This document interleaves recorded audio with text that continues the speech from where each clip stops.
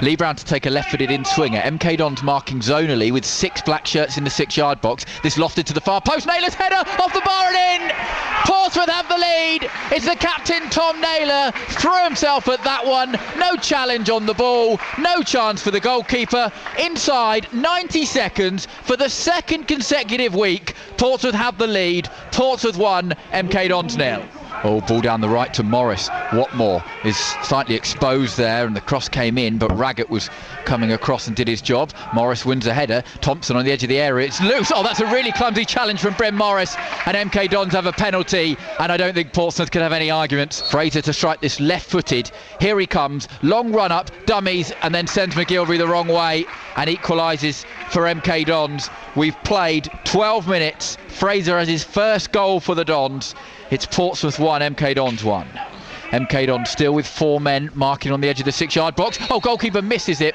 And a penalty kick has been awarded to Portsmouth is the foul on Sean Raggett. MK Dons can't believe it. Louis Thompson saying it definitely shouldn't be a penalty kick. Portsmouth with a golden chance to retake the lead. It's Ellis Harrison against Nicholls. Harrison steps up and scores. Keeper got his fingertips to it, but he couldn't keep it out.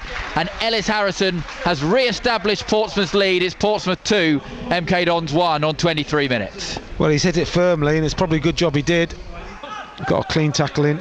Shot from distance to come in for Dons and MacGillivray is able to palm it away. There was a bit of a venom in that effort from Nombe, corner kick. Yeah, instantly I thought it was gone through his hands, but it was a good palm away. Didn't fancy uh, catching that one. Laid short. Here is Keogh. Looks outside the penalty area. Fraser, can he get the shot on his left foot? Drills it across the face of goal. And a wonderful save by MacGillivray. Nombe coming in at the far post. How on earth has Portsmouth's goalkeeper kept that out? It's a corner. Yeah, Nicolaisen just giving him a slap because it was his man that got in behind him. Harness helps it on to Harrison. Kasumu getting a foot in there, but he just helps it to Lee Brown. Harrison is onside in the penalty area. Harrison from a tight angle, saved by the goalkeeper. Loose ball is hacked away. But he couldn't believe one, he was onside and he could keep going. Got onto his right foot, kept it low. Goalkeeper smothered it.